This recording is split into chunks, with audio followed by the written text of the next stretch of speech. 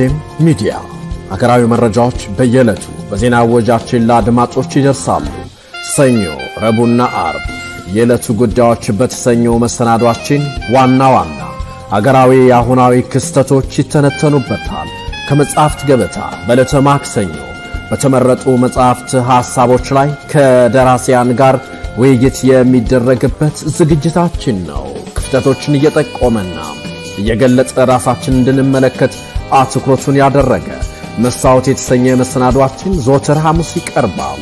የተወልደ እንግዳ ቅዳሜ የሚቀርብ ሲሆን በዋናነትም የጥበብ ሰዎችና ሥራዎቻቸው ላይ አተኩሮ ያልተነገሩ አዝናኝና አስተማሪ ታሪኮችን ይተርካል። እሁድ እንዲህ ነበር የተሰኘ መሰናዷችን ታሪክን በምልሰት እየቃኘ ለአድማጭ ተመልካቾቻችን የሚደርስ ይሆናል። ምንጊዜም ሚዲያ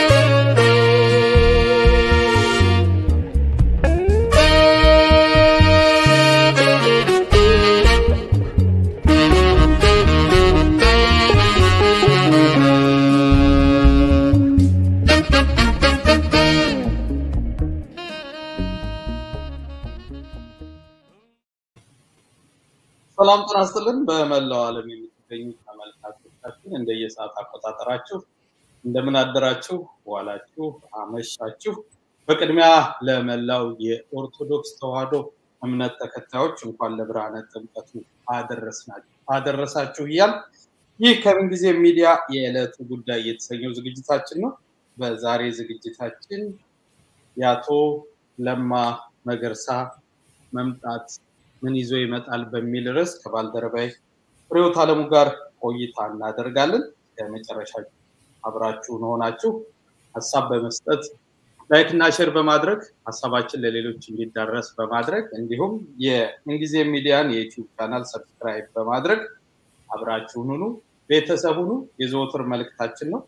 ርዕዮት እንኳን አደረሰሽ እና እዛው ሰላምታይንም አስቀጥዬ በዛሬ ዝግጅታችን እንግዲህ የአቶ ለማ መገርሳ መምጣት በበርካታ ብዙሃን መገናኛዎች እየተነገረ ነው።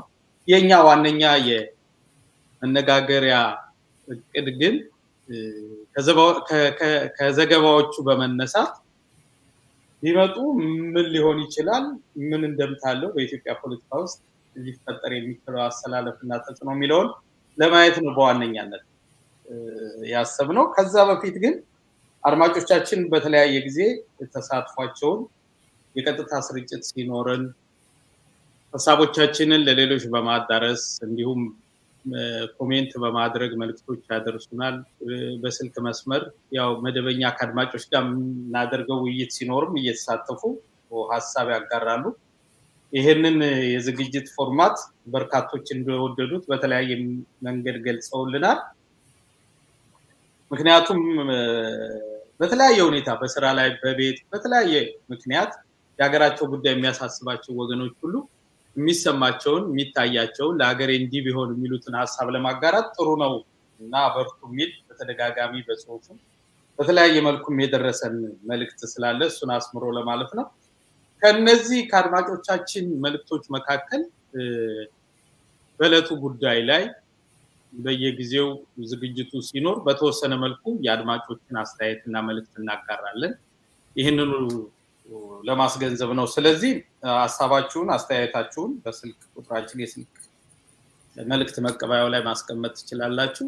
ዛሬ እሱን እናደርጋለን የሚለውን ቅድሚያ ለአድማጮች ሀሳብ ለማጋራት ነው ሪዮት። ስለዚህ ሰላምታሽንና ሌላውን ሀሳብሽን ልቀበልና ወደ አድማጮች አስተያየትና መልእክት በቅድሚያ እናልፋለን። ከዛ በፊት ያንችን አስተያየትና ሀሳብ ልቀበል። እሺ፣ አመሰግናለሁ ተወልደ። እንግዲህ በመጀመሪያ ማለት የምፈልገው በዓሉን ለምታከብሩ በሙሉ እንኳን ለጥምቀት በዓል አደረሳችሁ፣ መልካም በዓል ይሁንላችሁ ማለት እፈልጋለሁ። እንግዲህ በብዙ የኢትዮጵያ ክፍሎች በዓሉ በድምቀት ተከብሯል። የተለያዩ እንግዶች ተገኝተውበታል። ባለስልጣኖች፣ ዲያስፖራዎች፣ የውጭ ሀገር ዜጎች እና በደመቀ ሁኔታ ነው በብዙ የሀገራችን ክፍል እንደተከበረ የሰማ ነው። ደስ ይል ነበር። ከዛ በመቀጠል እንግዲህ እኔም የተወሰነ ነገር ስለ አድማጮች አስተያየት ለማለት በቀጥታ ስርጭታችን ወቅት አድማጮችን እያስገባን የምናወያይበት በስልክ ማለት ነው። እንደምታስታውሱት የተለያዩ ዝግጅቶች አድርገናል። ወደፊትም እንቀጥላለን። እንደወደዳችሁትም ነግራችሁናል። እኛም ወደነዋል። የተለያዩ ሀሳቦችን እየሰማንበት እየተማርንበት ያለ ዝግጅት ነው። ከዛ በተጨማሪ በቀጥታ ከምንቀበላቸው እና ከምንወያይባቸው የስልክ መልእክቶች በተጨማሪ ደግሞ መልእክቶቻችሁን ትታችሁልን ሌላ ጊዜ እናስደምጣለን ባልነው መሰረት የተለያዩ መልእክቶች አሉ የተጠራቀሙ። እሱን እንግዲህ ዛሬ ማሰማት እንጀምራለን። በተለያዩ ጉዳዮች ላይ አስተያየቶቻችሁን ላኩልን፣ ወደ እናንተ መልሰን የምናደርሰው ይሆናል ማለት ነው። ከሱን ጀምርና የተወሰኑ አስተያየቶችን በተለያዩ ጉዳዮች ላይ በተለይ ደግሞ ከነስባት መፈታት ጋር ያደረግናቸውን ውይይቶች በተመለከተ ቀጥታ ስርጭት ስልካችንን ያላገኙ ሰዎች የተዋቸው መልእክቶች አሉ። እነሱን አድምጠን የተወሰኑትን ወደ ዛሬው የመወያያ ርዕሳችን እንሄዳለን ማለት ነው።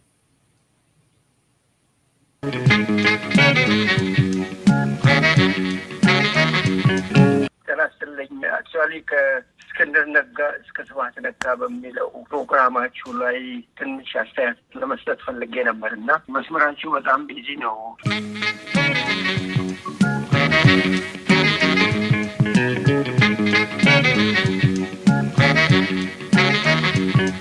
ጤና ይስጥልኝ። አዳነች እባላለሁኝ። ፕሮግራማችሁን እየተከታተልኩ አለፈኝ ማለት ነው። ፕሮግራሙ በቀረባችሁት ቁጥር እሱን ይዤ ነበር የደወልኩት። ትንሽ ዛሬ ደግሞ በዓመት በዓል ምድር እንደዚህ የኢትዮጵያ መንግስት ባይረብሸን በጣም ጥሩ ነበረ። እሱን ብለው ቃሉን ተቀብለው ኢትዮጵያ የሄደ ብዙ ዲያስፖራ አለ እና እነሱንም እንደዚህ ስጋት ላይ ይመጣል ነው። እንደዚህ አይነት ውሳኔ ጥሩ ውሳኔ አይደለም። ታይሚንጉም ትክክል አይደለም። ስትራቴጂም ከሆነ ሌላ እቅድ ኖሯቸው እነዚህን ሰዎች በማከታተል ማድረግ የሚፈልጉት መያዝ የሚፈልጉት አንድ ሰው በመልቀቅ ብዙ ያዝ በማለት አስበው ያደረጉት ስትራቴጂ ሊሆን ይችላል or whatever። ግን timing ኡ ብዙን ሰው risk ውስጥ የሚጨምር ነገር ነው ብዬ ነው የምገምተው። ዛሬ እነዚህ እንደግፍ ብለው ስንት የተሰቃየ ህዝብ አለ። ዛሬ እነሱ ላይ ሀሳባቸውን ማድረግ ትተው በስጋት ተውጠው ቀናቸውን አሳጥረው ቶሎ እንዲመለሱ ማድረግ ነው። ይሄ አይነት አሰራር ለኢኮኖሚውም ጥሩ አይደለም። ሰው ሀሳቡን በማስቀየር ላይ ነው። ስጋት እያደረበት ነው። trip ኡን short እያደረገ ለመምጣት እያሰበ ነው። እንደዚህ አይነትም ደግሞ ገናን በዓል አሳልፋለሁ በደስታ ብሎ ያለን ይሄንን ሁሉ ህዝብ እንዲህ ያለ የሚያሳዝን መልእክት በገናም ቀን ይሄ መርዶ ነው፣ ለብዙሀን መርዶ ነው እንጂ ይሄ የደስታ ቀንና ፍትህ አይደለም። ፍትህ እግዚአብሔር ነው። የማውቀው ፍትህ ሁሉም ያጠፋ እንደ ጥፋቱ ይቀጣል። እነዚህ ደግሞ ብዙ ደም ያፈሰሱ ናቸው። እኔ ወየውለት የኢትዮጵያ መንግስት ዛሬ ይሄ ሁሉ ህዝብ ስንት ሰው ተሰቃየ፣ ስንት ሰው ተጎዳና እንዲህ አይነትን ስቃይ ያለፈ ህፃን አዋቂ ሳይባል ስንት ስቃይ ያለፈ ስንቱ ደም የፈሰሰበት innocent ሰው ያፈሰሰበት እንግዲህ በእሱ ላይ ይነሳል ብዬ ነው የምፈራው። ከእንግዲህ ወዲህ የሚከተለውም ያለ አይመስለኝም። አላማውን እስክናቅ ድረስ እኔ ራሴ በጣም በጣም በጣም በጣም ከሚገባው በላይ disappointed የሆንኩበት ነገር ነው። የሚያሳዝን የሚያሳዝን ደካማ ውሳኔ ብየዋለሁ።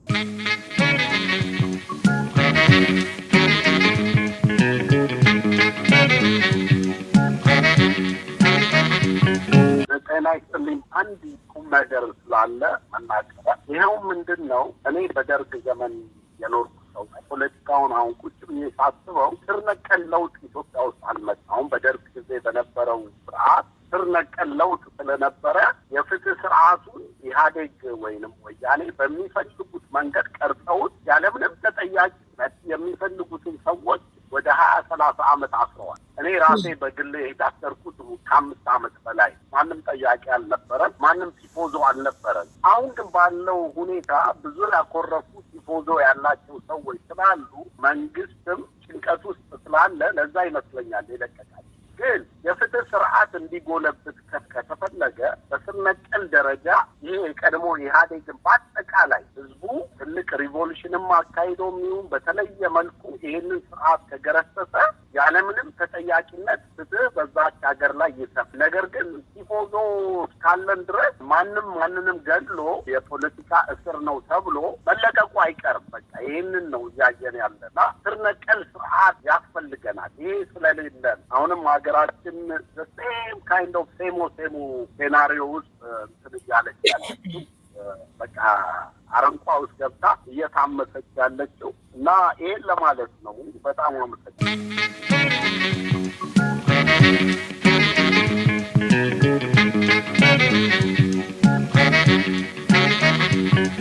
በመጀመሪያ ደረጃ ለሁለት ሺ አስራ አራት የጌታችን ልደት በዓል የምንጊዜ ሚዲያ አዘጋጆች እንኳን አደረሳችሁ እላለሁ። እኔ በምታቀርቡ ፕሮግራም ላይ የራሴን አመለካከት ለማቅረብ ነው። ያሳዝናል። በጌታ ልደት እርግጥ ሁሉንም ወደ ይቅርታ በይቅርታ ፈቶት ወደሚመለከተው የፖለቲካ መንገድ ለማሸጋገር የሚደረገው ነገር ተቀባይነት ቢኖረውም የኦርቶዶክስን አከርካሪን ሰብረናል ብሎ በሚዲያ ላይ የተናገረን የወንበዴን ቡድን ስብሐት ነጋን ግን መፍታት ይሄ ለኦርቶዶክሱ ለክርስቲያን እምነት ተከታዩ የሞት ሞት ነው። ብዙ ሰዎች ምናልባት አርጅቷል፣ ምንም አይሰራ፣ ምንም አያደርግም የሚል አመለካከት ሊኖራቸው ይችላል። ግን እኔ በሌሎቹ በተፈቱት ላይ ምንም አስተያየት መስጠት አልፈልግም። እስክንድር መጀመሪያም ያ ወንጀለኛ ሆኖ የታሰረ ሰው አይደለም ወይ ነው፣ እሱ እናውቃለን። የጀዋርም ለራሱ የምርጫ እንትን ላይ ያሸንፈኛል ብሎ ስላሰበው ነው ያሰረው። ለተደረገው በኦሮሚያ አካባቢ ለተደረገው የጥላቻ ንግግር እነሱ የራሳቸው ጉዳይ እሱን አይመለከ አይመለከተኝም። እኔ ኤኒዌይ ግን የስብሐት ነጋ መፈታት ይሄ ለኢትዮጵያ ውርደት ነው። ራሱ ምንም የፖለቲካ ማረጋጋት ያመጣል ብዬ አላምንም።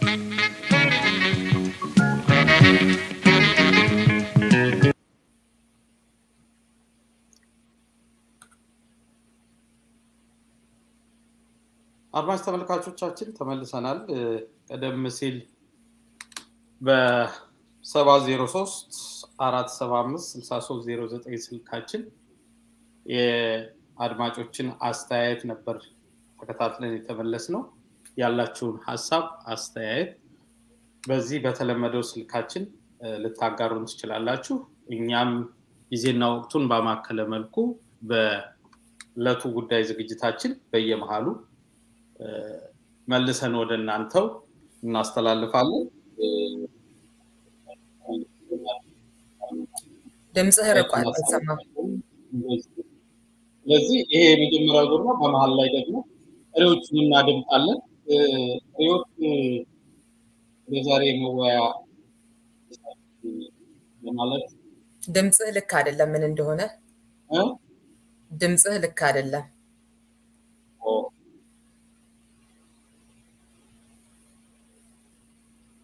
እሺ እሺ ይሻላል። ተስተካከለ በደንብም ባይስተካከል እሺ ቀጥልሽ። እ? ይሰማሃል?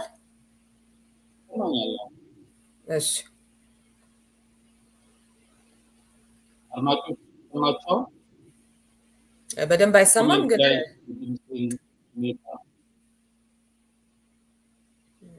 ምናልባት እስኪ አሁን ቀጥል። አሁን እንዴት ነው ይሰማል? አሁን ይሰማል። በምርጫ የተበላ ነው ድምፅ አንሶ እንደገና በቀጥታ ስርጭትማ ድምፃችን ይቆራረጣል የሚል መልእክት አይቻለሁ።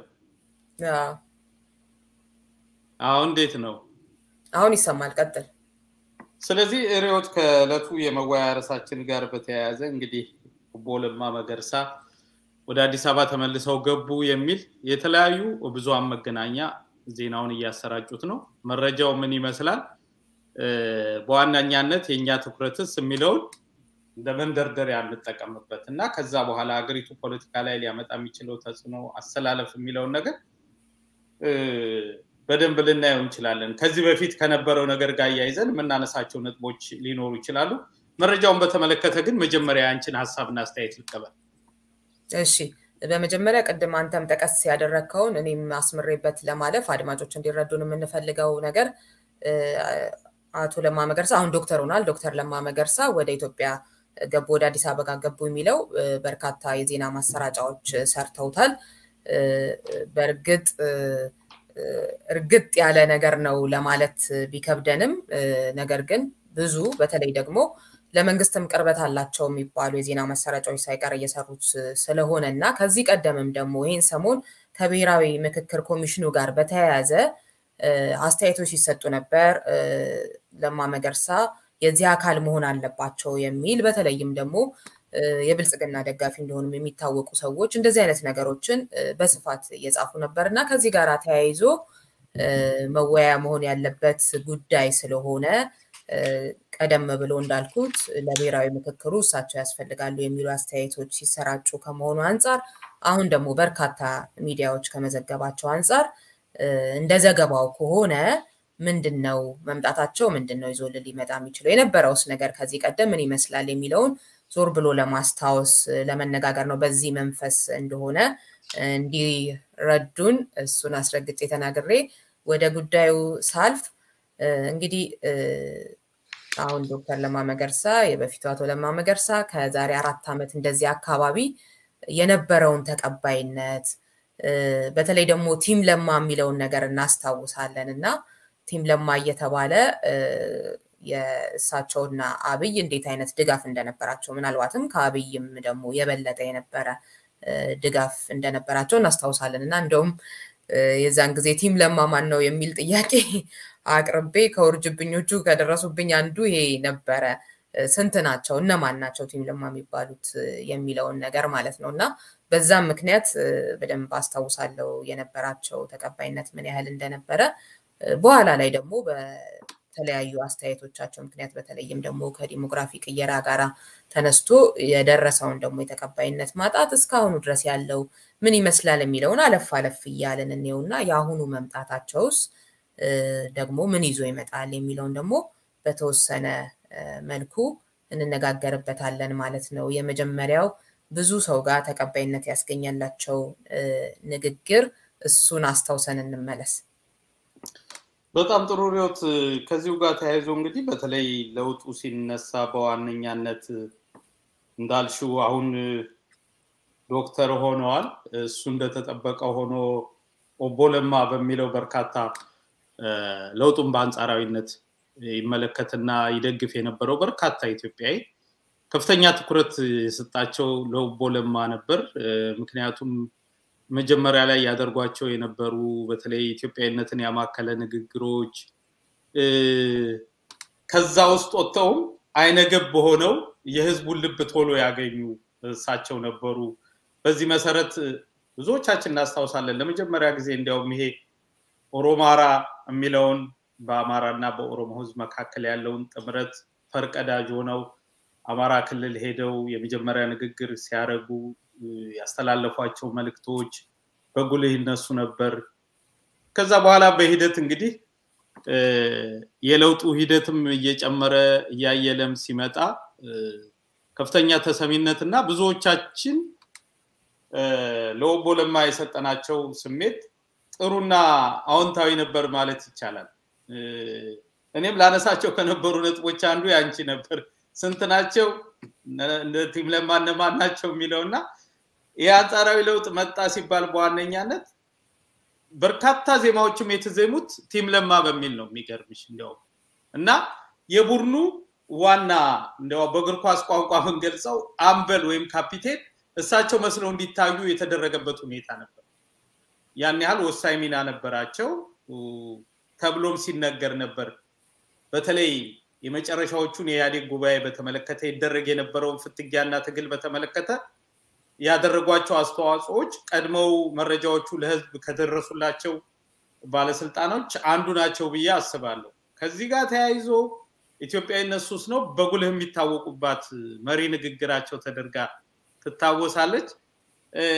ሪዮት በዋነኛነት ወደኋላ ሄደን የተወሰኑትን ማስታወስ ስለሚገባ ከዚህ ቪዲዮቸው እንነሳና በቀጣይነት የነበሩት ክፍተቶች፣ ልዩነቶች እንዴት እየተፈጠሩ መጡ የሚለውን አያይዘን እናነሳለን እና እንደ መጀመሪያ እሱን ቪዲዮ በጥቂቱ ጋብዘን እንመለስ። ለመምከር ለመነጋገር እዚህ በመካከላችሁ በመገኘቴ በእውነት ኩራትና ደስታ ተሰምቶኛል።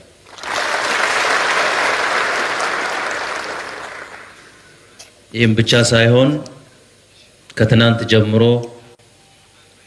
ከአባይ ድልድይ ጀምሮ እስከ ባህር ዳር ድረስ መላው የአማራ ሕዝብ ከኦሮሚያ ለመጡ ልዑካን ቡድኖች በእውነት ላደረጋችሁልን ወንድማዊ አቀባበል በኦሮሚያ ክልላዊ መንግስት ስም ብቻ ሳይሆን በኦሮሚያ ህዝቦች ስም ላመሰግናችሁ እወዳለሁ።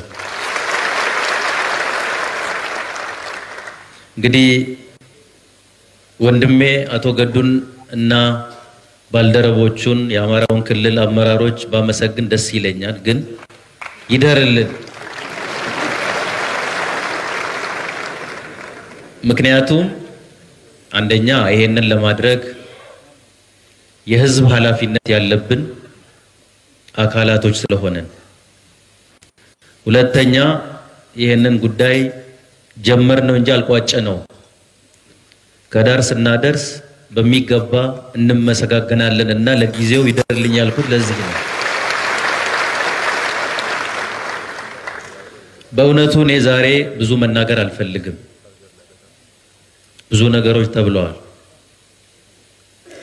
ከተነገሩትም በላይ እኔም ሆንኩ ከኔ ጋር የመጡ አባቶች፣ አመራሮች ከምንናገረው በላይ ምን ለማለት እንደፈለግን ከትናንት ጀምረን በመካከላችሁ መከሰታችን በራሱ ከንግግር በላይ ነው ብዬ ነው ማስበው።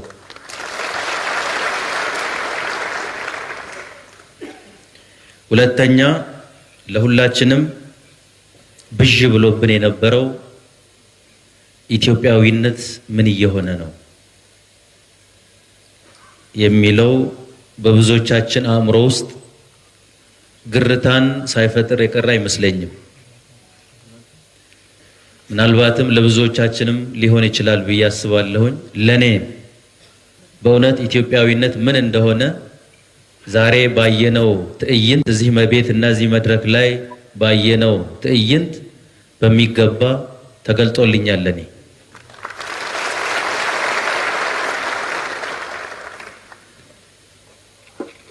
ኢትዮጵያዊነት ስሙ ባያምርም ሞክሬው ባላቅም ሀሺሽ ነው፣ ሱስ ነው ኢትዮጵያዊነት።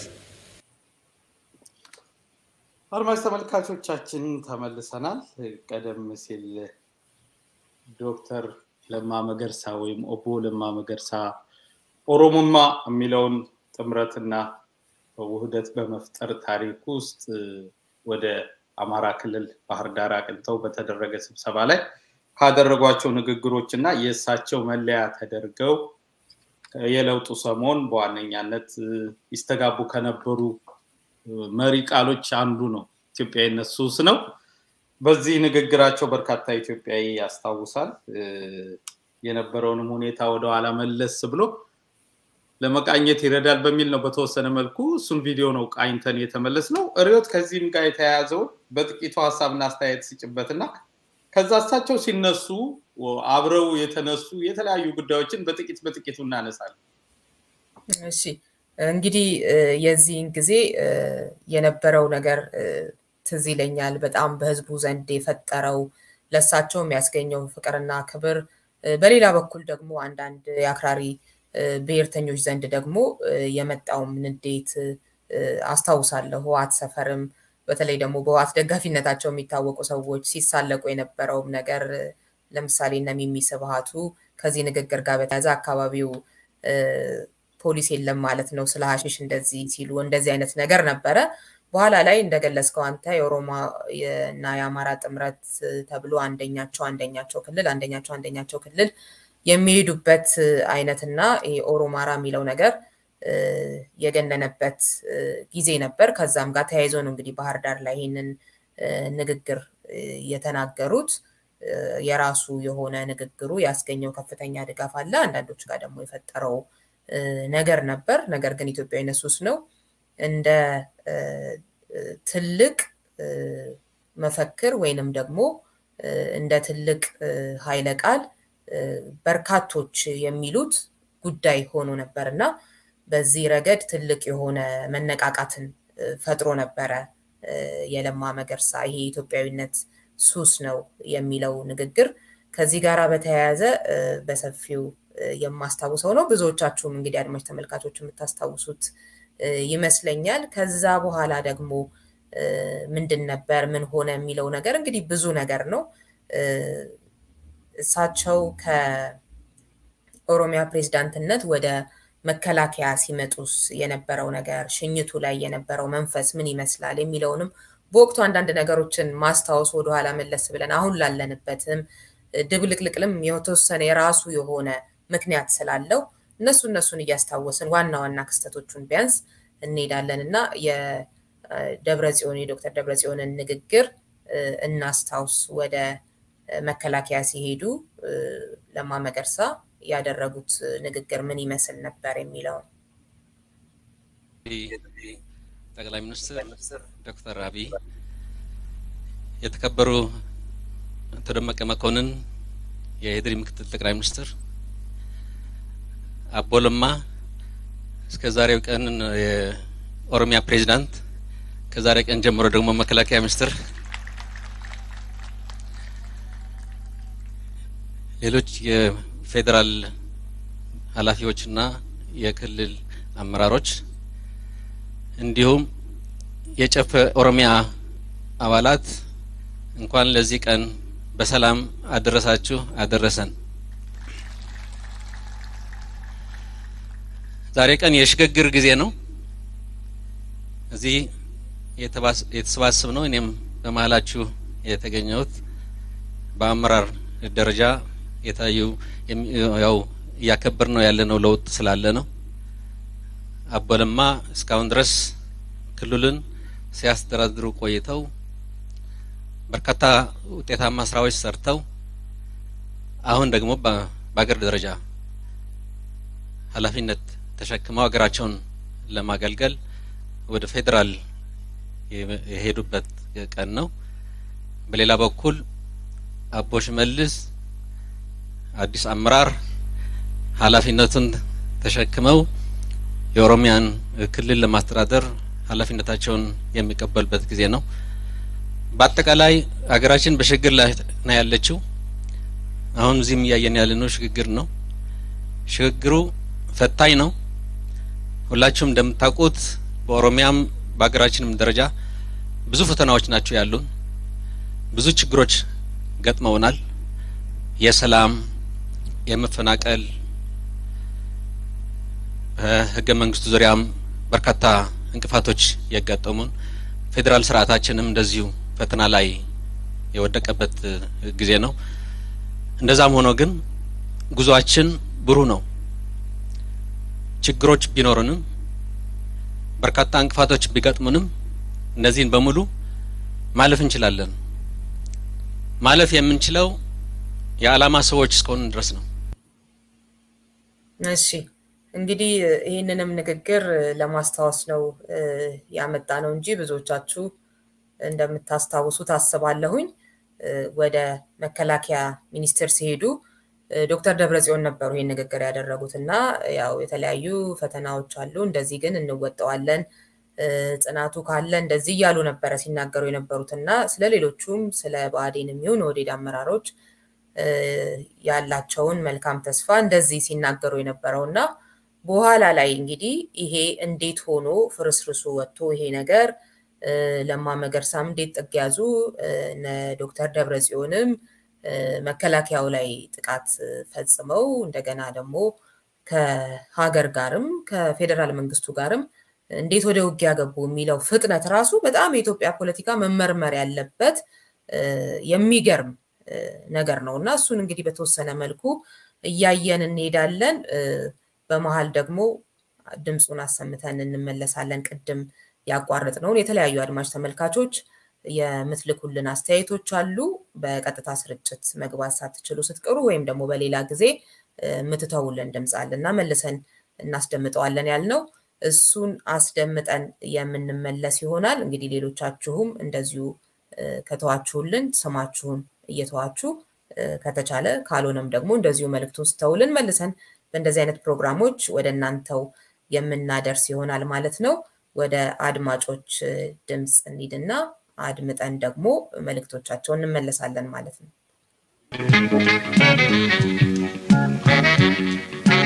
ጤና ይስጥልኝ። እንኳን ያደረሳችሁ ተወልደና ሪያ።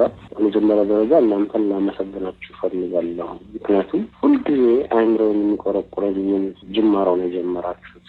ምክንያቱም የሚዲያው ሳስተው ፕሮፌሰር እንትና ዶክተር እንትና ምናምን እነሱ ብቻ ናቸው እንደ ስለ ኢትዮጵያ የሚያገባቸው። ምክንያቱም በፕሮፌሰርና በዶክተር ምናምንማ የት እንደደረስን ያየ ነው። እኔ እነሱ ያጠቁኝን ወይ እያጠቀልቋቸው አይደለም፣ ግን ካለን የህዝብ ብዛት አንጻር ምን ያህል percent ኦች ናቸው እነዛ ፕሮፌሰር እንትና እና ዶክተር እንትና የሚባሉት ሰዎች እና አሁን ልክ እናንተ እንደጀመራችሁት አይነት ፕሮግራም የሚጀምር ሰው ቢኖር ብዬ እመኝ ነበረ። በቀጥታ ከሰው አስተያየትም ልክ እንደምን አይነት ያልተማረ ሰው ኑሮውን ለማሸነፍ ግን የተለያየ ስራ እየፈጋ የሚኖር ግን ለሀገሩ ቢቆረቆር ብዙ ሀሳብ ያለው ሰዎች ብዙ ይኖራሉ። እና የነሱ እንዲያውም እኛ ነን ዘጠና ዘጠኝ percent ያልተማርነው ሰዎች ነው ዘጠና ዘጠኝ percent ያለ ነው እና የኛ ሀሳብ more ቢስተጋባ ላለሁን እናንተ ደግሞ ያ እኔ ሳስበው የነበረውን ፕሮግራም አቋቁማችሁት አይቼ ደስ ብሎኛል። please እንዳታቋርጡት። አንዳንድ ባለጌ ሰዎች ያልተገባ ነገር ሊያደርጉ ይችላሉ። እናንተ ከኔ በላይ ደግሞ ስለ ሚዲያ ታውቃላችሁ። ይሄን አድርጉ ይሄን አድርጓልን ብቻ የተደረገው ነገር በጣም ደስ ብሎኛል። አላግባባችሁ፣ አላስረዝመው። አመሰግናለሁ። የተደረገው ነገር ቀጥሉበት። እንኳን አደረሳችሁ ሁለታችሁ። እሺ ታንኪ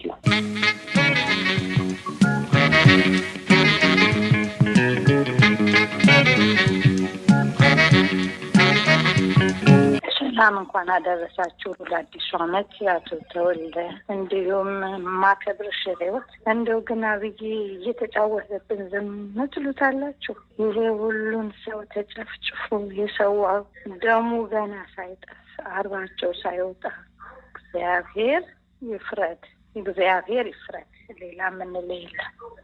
እነ ስብሀት ይፍረቱ። አማራንና ኦርቶዶክሱን ተረስ የቱ ከየቱ እንዴ ተወልደ የእናት የአባት ቤት እኮ የፈረሰው በእነኝህ እኮ ነው። ያንተ እናትና አባት የምትሰሩ ወንድም በአላማው ነው እየተከራከራቸው ብቻ ቃላት ስላጠረኝ ነው።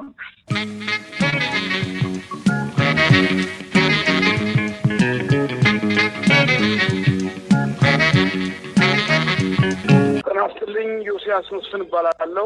ሃሪስበርግ ፔንሳልቬኒያ የምደውለው። የጀመራችሁትን ሚዲያ እከታተላለሁ። እስካሁን ድረስ ነቀፋም የለኝም። ምዕራብ ትግራይ ብሎ ነገር የለም። የሰሜን ጎንደር ግዛት ነው። ሰሜን ጎንደሮች ግዛቱ እንደተመለሰ ይገባኛል። ይኸው ነው። ኢትዮጵያ ዘጠኝ ሺህ ዓመት ዕድሜዋ ትግራይ ከሱዳን ተዋስኖ አያውቅም ነበር። አሁን ግን አይዋሰንም። ይህን ነው የማውቀው። ይቅርታ የአራዳ ልጅ ነኝ፣ አዲስ አበባ ልጅ ነኝ። እንደው በዘርና በሌላ በዲኤንኤ መጥቼባችሁ እንዳይመስላችሁ እችን ለማስተካከል የተናገርኩት ነው። እግዚአብሔር ይባርክሽ።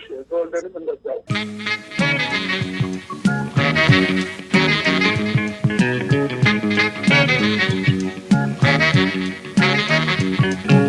ሰላም ምንጊዜም ሚዲያ፣ ሰላም ርዕዮት፣ ሰላም ተቦርነ እንዴት ናችሁ? እንግዲህ አዲሱን ፕሮግራማችሁን ከሚከታተሉት አድማጭ ተመልካቾች መካከል የዛሬውን መንግስት ትግራይ መግባት አለመግባት በሚለው ላይ የነበረውን ውይይት live መከታተል ሳልችል ቀርቼ አስተያየት አልሰጠሁም። ቀጣዩ ፕሮግራም መቼ እንደሆነ ሳምሀው አስቀድሞ announce ተደርጎ በደንብ ለመከታተልም አስተያየት አስተያየት ለመስጠትም እንዲቻል ብትነግሩን ብዬ ነበር። እግረ መንገዴንም አሁን የኔን perspective ስለማሳየት ችል እንደሆነ ልጠይቅ ነበረ። በተረፈ እንግዲህ አመሰግናለሁ። ደግሜም ይደውላለሁ። ፒተር እባላለሁ። thank you። በርቱ። ተጎናችሁ ነው።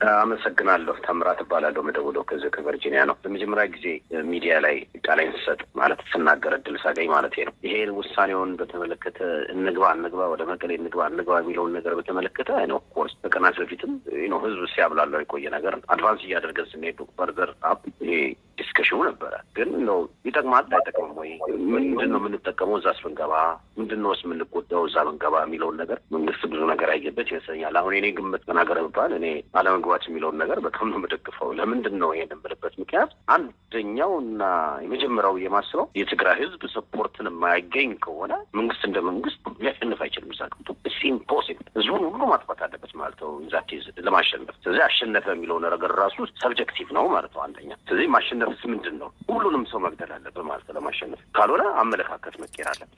ሰዎቹ እዛ ያለው ሰው ነው አሁን we have to be with the government side ከ majority ው ኢትዮጵያን ጋር አብረን መሆን አለብን ብሎ ህዝብ የሆነ ነገር ሲያሳይሽ ያን ጊዜ advance ማድረግ ይቻላል፣ መግባት ይቻላል። ህዝብ ፈቃደኝነቱን በማያሳየበት ሁኔታ ከመንግስት ጋር መሆኑን ወይንም እነኛን እንደሚቃወም ባላሳየበት ሁኔታ እዛ መግባት risky ነው። ሌላው ገና advance እያደረግን ስላለ ገና ለቅሶ ተጀመረ። ዓለም አቀፉ እንትን ጫና ኤርትራ በዚች በኩል መጣችብን እንትናልን imagine እንግዲህ አሁን እዛ ብንገባ blame ኡ ልንወስድ ነው።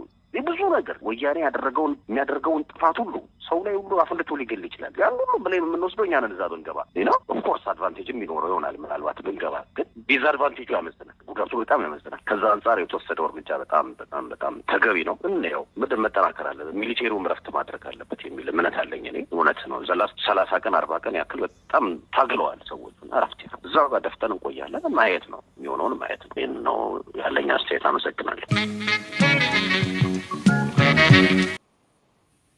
አድማጭ ተመልካቾቻችን ተመልሰናል። ቀደም ሲል በሰባት ዜሮ ሶስት አራት ሰባ አምስት ስልሳ ሶስት ዜሮ ዘጠኝ የአድማጮቻችንን አስተያየት ተጋርተን ነበር የተመለስ ነው። በተለያየ ጊዜ ያዘጋጀናቸውን ዝግጅቶች በተመለከተ አድማጮች ከተለያዩ ቦታ እና በተለያዩ ሀሳቦች ላይ ያደረሱን አስተያየትና መልእክት ነበር ቀደም ሲል የተከታተላችሁ።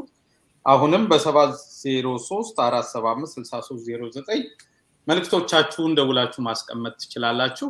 የቀጥታ የአድማጮች ተሳትፎ ያለበት ውይይት ሲኖረን በዛው የተሳተፋችሁ ሀገራዊ ህልማችሁን፣ ሀሳባችሁን ለሀገር ይጠቅማል ያላችሁትን ለእናንተ የተመቻቸ መድረክ ስለሆነ በዛ ውይይታችንን እንቀጥላለን። በተመደበለት ቀን ማለት ነው። ሪዮት ወደ ዋናው ጉዳያችን ተመልሰናል። ከአድማጮች አስተያየት በኋላ ኦቦ ለማን በተመለከተ እንግዲህ ወደኋላ በተወሰነ መልኩ የነበረውን አጀማመር ከዛ በኋላ አሁን ቀደም ሲል የታየውን ቪዲዮ ዶክተር ደብረጽዮን ባሸኛኘቱ ላይ ያደረጉት ንግግር ምናልባት ነገ ከነገ ወዲያ የሚሆነውን ነገር ለፖለቲከኞቹ በዋነኛነት ለፈጣሪ ከዛ ለፖለቲከኞቹ ትተን አንዳንድ ነገሮች ግን ዛሬ የተባሉ ይመስላል። የመደምደሚያ ንግግራቸው የዶክተር ደብረጽዮን አሁን ላይ የሚናገሩ ነው የሚመስሉት። ብዙ ጣውረድ አልፈን ችግሮችን አልፈን አሁን እዚህ ሽኝቱ ላይ መገኘታችን አይነት ስሜት ያለው ነገር ይመስላል። ወደ መደምደሚያ የተናገሩት ነገር ዞሮ ዞሮ ያኔ የሆነ ነገር ነው። አሁንስ ምን ይቀጥላል የሚለውን ወደ መጨረሻ እንመጣበታለን። ግን ከዛ በፊት አያይዘን እናንሳ። በተለይ ከኦሮ አማራ የሚለው ግንኙነት ጋር በተያያዘ ባህር ዳር ያደረጉትን እና በጣም ታዋቂ የሆኑበትን ንግግር ኢትዮጵያዊነት ሱሴ ነውን አንስተናል። ከዛው ጋር ደግሞ በሽኝታቸው ላይ ዶክተር ደብረጽዮን ያደረጉትን ንግግርም በተወሰነ መልኩ ለማየት ሞክረናል። አብረን አያይዘን እናንሳ። እንግዲህ ኦቦ ለማ በዋነኛነት ደግሞ ህዝቡ ከሰጣቸው ክብር፣ ፍቅር፣ ሌሎችም ነገሮች በጥርጣሬና በሌላ መንገድ እየታዩ የመጡበት የመጀመሪያው ዲሞግራፊ በተለይ የአዲስ አበባን ዲሞግራፊ ከመቀየር አንጻር የተነሳው ጉዳይ ነበር። ያን በተመለከተም እሳቸውም የሰጡት ማስተባበያ ነበር።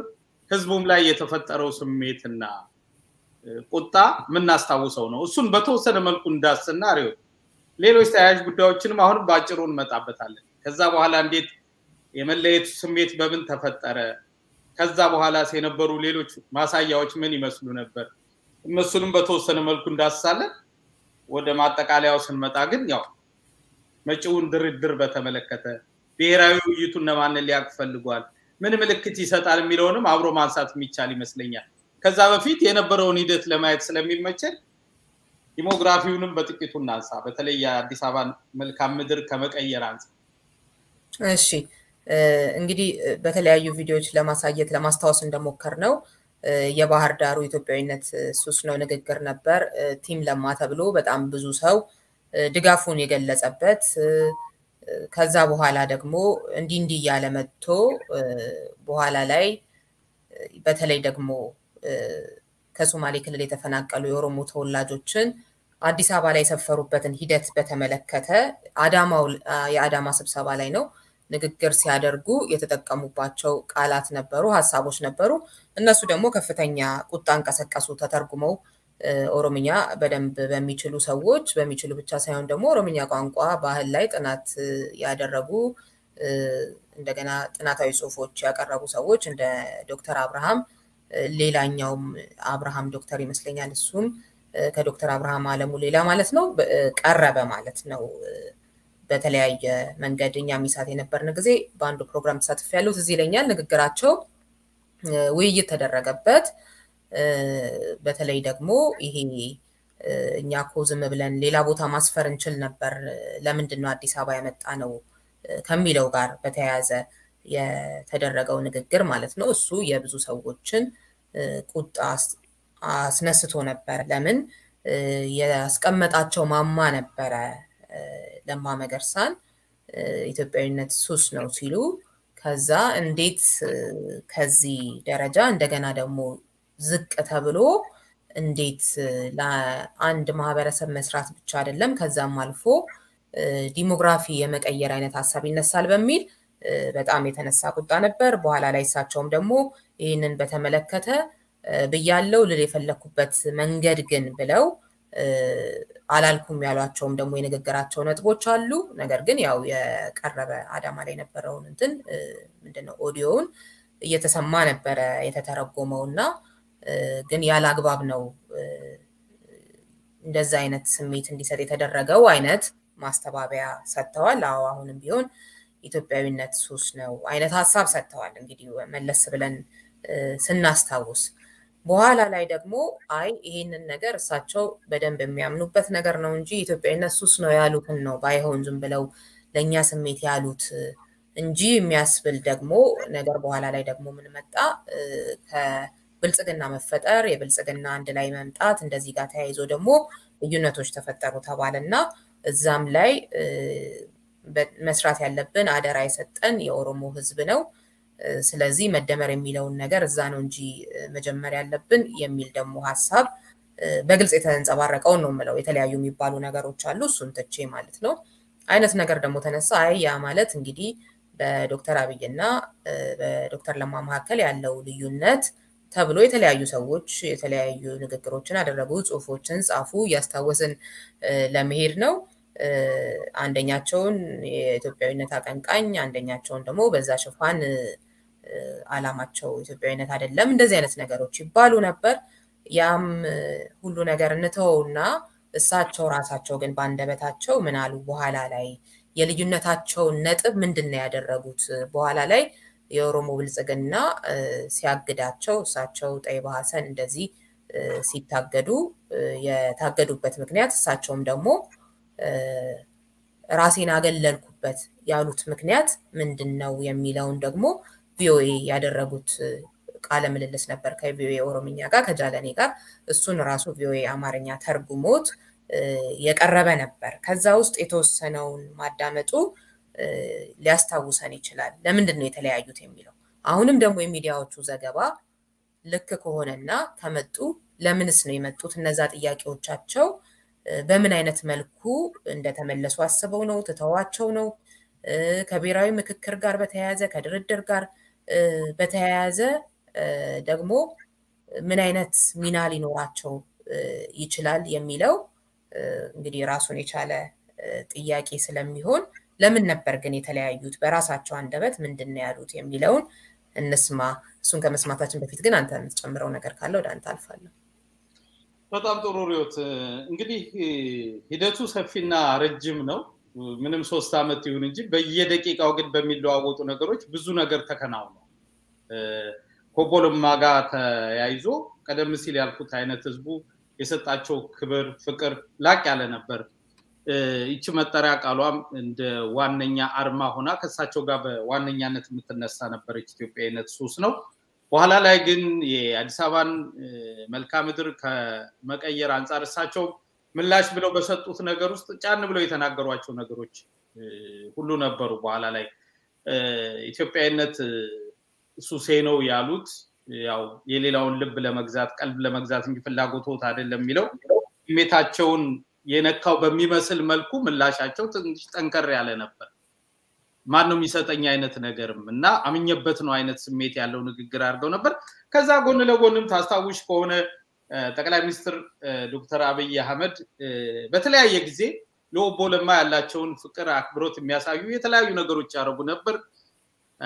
አንድ ዝግጅት ላይ ታስታውሽ ከሆነ ፊት ለፊታቸው ቆመው የወታደራዊ ሰላምታ ሲሰጧቸው መነጋገሪያ የሆነ ፎቶግራፍ ነበር። ከዛ በኋላ ዶክተር አብይ አህመድ ሲያመሰግኗቸው አንድ ዝግጅት ላይ የምታስታውሽ ከሆነ ዛሬ በግልጽ ልናገር የረጅም ዓመት ስውር መሬ ነው እና ዛሬ ግን ይፋ ላድርገው እስከ ማለት ደርሰዋል እና በትግሉ ወቅት ወይም ወደ ስልጣን ከመምጣታቸው ወይም ይህን አንጻራዊ ለውጥ ለማምጣት የነበራቸውን ትብብርና አጋርነት በሚገልጽ መልኩ የተደረጉ ብዙ ነገሮች ነበሩ። በዛው ፍጥነት ደግሞ ነገሮች ተገልብጠው ደግሞ ሌላ ውዝግብና ችግር ውስጥ የተገባበት ጊዜ ነበር። ታስታውሽ ከሆነ እዚህ ሰሜን አሜሪካ በተለይ ሚኒሶታ ኦቦ ለማ ያደረጉት ንግግር እጅግ አነጋጋሪና አጨቃጫቂ ነበር።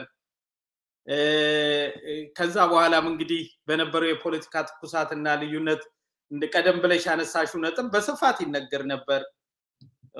ኦቦ ለማ ከኢትዮጵያ አቀንቃኝነት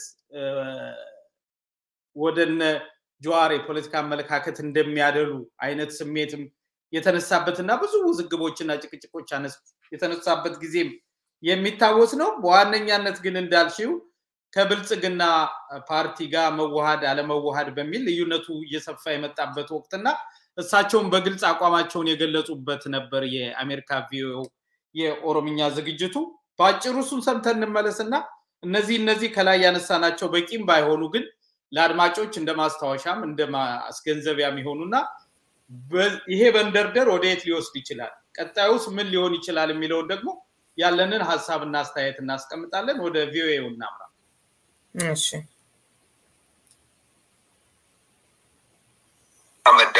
ከሌላ ቦታ መጀመር ሳይሆን መጀመሪያ ኦሮሞ ነው።